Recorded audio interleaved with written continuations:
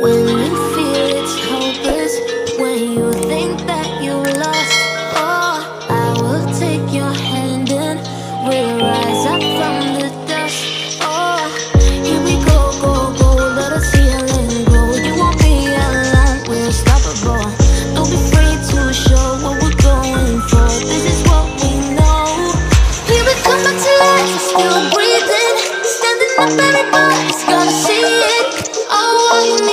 stop holding on, even if we fall, we will rise